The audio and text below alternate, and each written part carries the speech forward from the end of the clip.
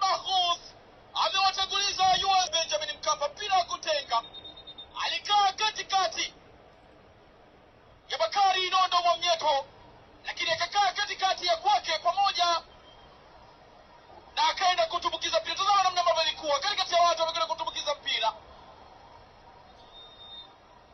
eh. Mahfouz ametanguliza Yose Maansha, ni dhahiri shahiri makosa yale yale.